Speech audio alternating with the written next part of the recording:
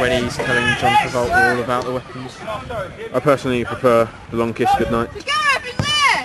I'm always frank and honest with women.